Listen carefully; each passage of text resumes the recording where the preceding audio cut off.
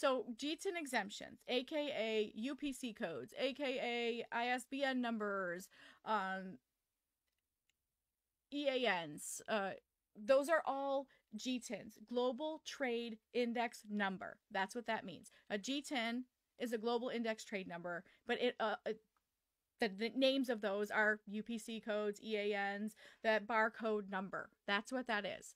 So um, it, it's called different things, but again, you need one of those to list on Amazon. If you do not have a GTIN, then you need a GTIN exemption. In order to get a GTIN exemption, you generally have to have permission from the brand that issued that brand saying there is no UPC code for this particular product. It is exempt from that because of the following reasons. Now, Amazon gives you reasons why you can get a GTIN exemption. And one of the number one reasons you can get a GTIN exemption is that if it's a custom bundle, which is what you guys are creating. So you don't need a GTIN for to create your listing if you're creating something that's not on the list of restricted brands because there are brands that will not give you a GTIN exemption. So even if you are approved to sell KitchenAid products, that approval doesn't instantly give you the ability to create new listings. It just means you can list on the existing ones that are there. So if you were trying to create a KitchenAid bundle and you wanted to put, I don't know, let's say KitchenAid makes all kinds of kitchen accessories. So you want to put uh, measuring spoons and measuring cups uh, together. They're both made by KitchenAid. They're both red. You want to create a custom bundle for that. You need a UPC code or a GTIN for that.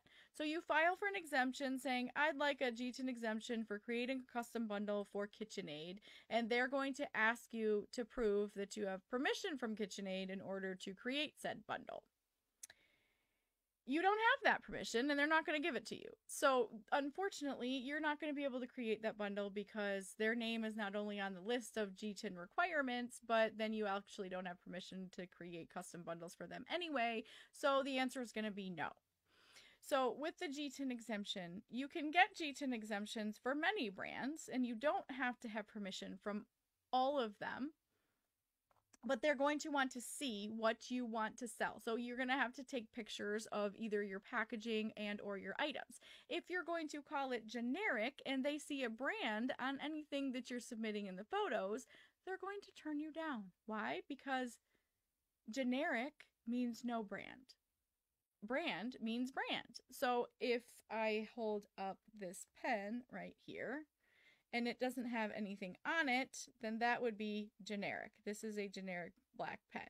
But then if I tell them it's generic and then they see this side and say that there is an actual brand on that, it says mommy income on it, then they know that that has a brand. So they're not going to say, well, this is not this is not generic. Their generic definition means it has no brand name under what it's sold at. And honestly, a lot of things on Alibaba, a lot of things that you can buy at wholesale suppliers and places don't have brands attached to them. They're just products.